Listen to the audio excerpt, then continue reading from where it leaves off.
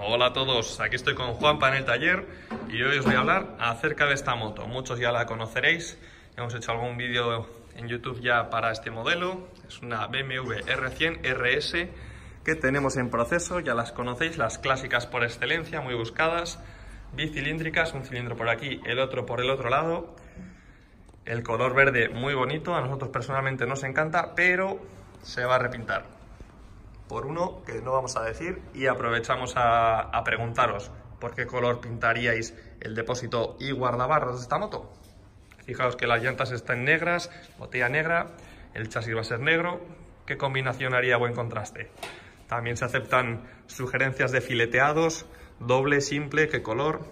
Pues eso, a gusto de cada uno y las sugerencias todas bienvenidas. Y bueno, lo que vamos a hacer es explicar con qué hemos avanzado.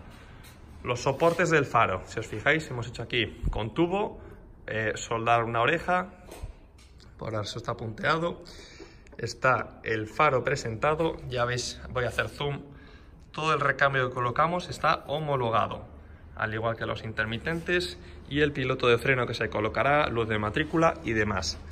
Sin recambio homologado, si, colocásemos unos intermitentes en esta ubicación, aunque sea totalmente legal y no cuenta con homologación, no se podrán homologar. Esto nos gustaría dejarlo bien claro. Ha de ser recambio homologado todo y además colocado en su lugar adecuado. Tiene sus varianzas, es decir, por ejemplo, de aquí nos ponemos 30 grados, ¿se alcanza a ver el intermitente derecho? Se alcanza, vale, es una ubicación homologada.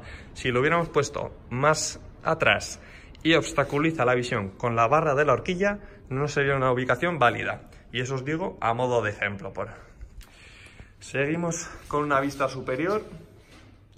Aquí veis el velocímetro colocado lateral con su soporte.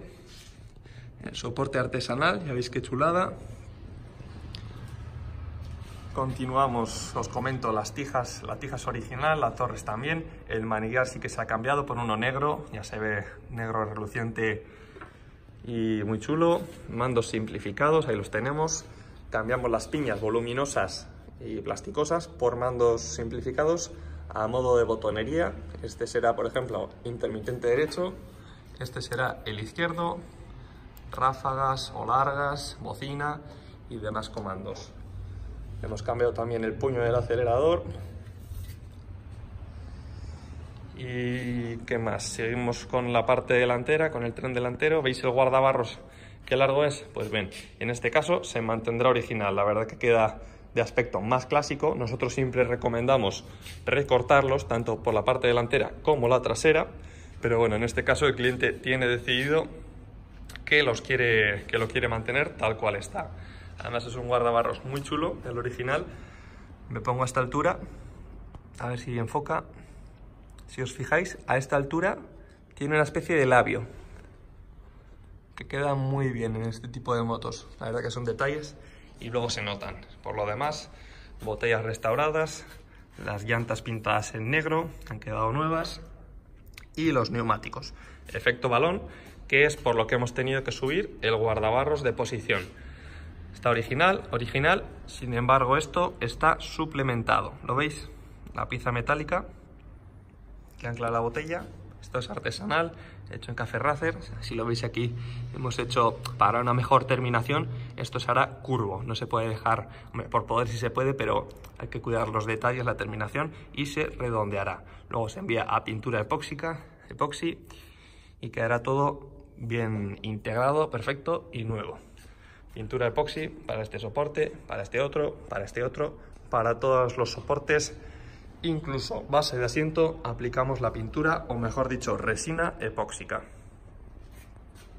La zona del motor, sin embargo, la veis algo sucia, eh, habrá que restaurarla, no a 100 puntos, pero bueno, habrá que mejorarla. El cliente ya ha dicho que no lo quiere dejar nuevo, tanto por euros como por estética, prefiere un uso más gastado, que se note que es un motor que ha tenido vida y no parezca, pues eso, nuevo, a estrenar.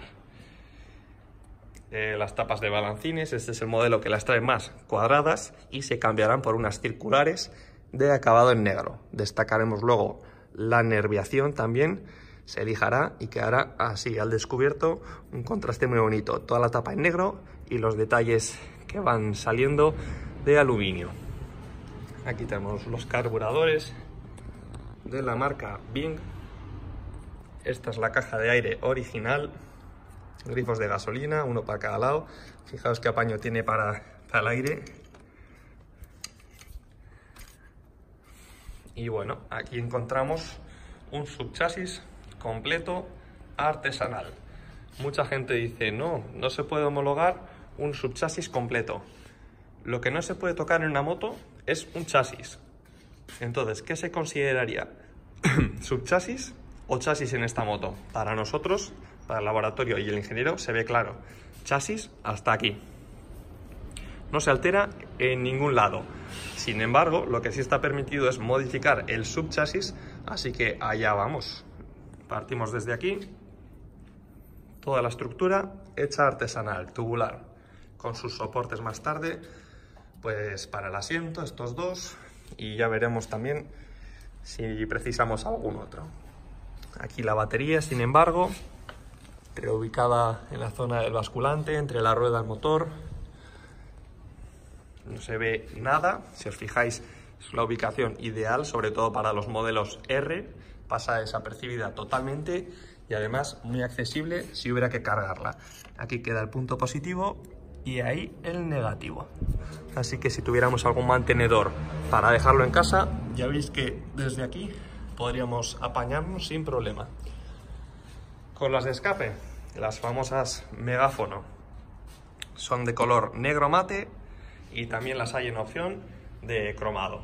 Para esta moto ya veis que la línea de abajo va eh, priorizando el color negro, basculante, llanta, amortiguador, así que negro también para el escape. Se pintará el guardabarros al igual que el depósito y el guardabarros delantero del mismo color, aún por ver.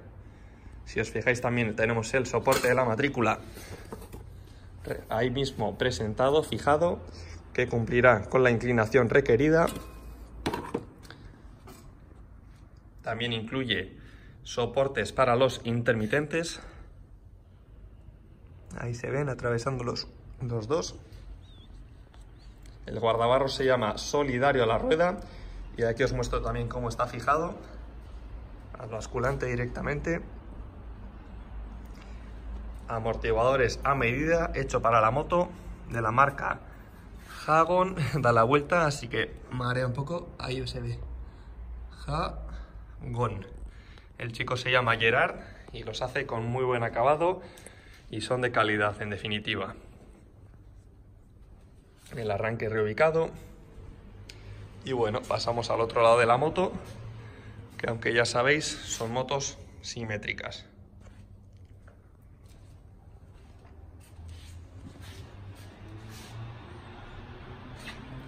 Al igual que en la CBX que tenemos aquí el depósito, ¿veis cómo termina en un labio?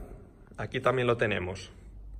Pues este labio siempre procuramos mediante la elaboración de una chapa que suba ascendente, voy a quitar el zoom un segundo, hasta esta altura y con el nuevo asiento se solaparía al depósito, por lo que no habría diferencia ni un espacio entre el depósito y el asiento. Y bueno, estéticamente esto es lo que se busca.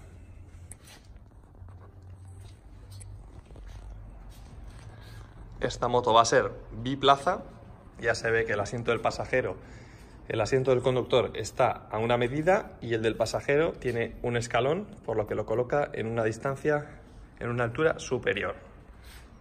En la CBX del fondo, sin embargo, va a ser una moto monoplaza, así que irá únicamente el pasajero acompañado del colín. Este está hecho en fibra, para que sepáis. Y bueno, más tarea que habrá que hacer. Conectar todo el cableado los próximos pasos serán pintura del subchasis. Hemos enviado la base del asiento a resina epoxi, pintura epoxi, siempre lo digo así, pintura resina, de las dos maneras se puede denominar. Más tarde cogeremos espuma para el moldeado del asiento y tapizado al gusto. Se puede tapizar a rayas así horizontales, longitudinales, a rombos, como gusten. Se puede poner también eh, tapizado marrón con hilo negro, viceversa. Cualquier opción es posible. Nosotros siempre recomendamos no salirnos del marrón o negro. También queda bonito, según en qué moto, un color eh, rojo tipo berenjena, como los BMW deportivos. Coches, hablo de coches esta vez. Así que nada, con eso ya nos despedimos. Y si os ha gustado el vídeo, pulgar para arriba y os agradeceríamos también los comentarios, por supuesto. Venga, un saludo.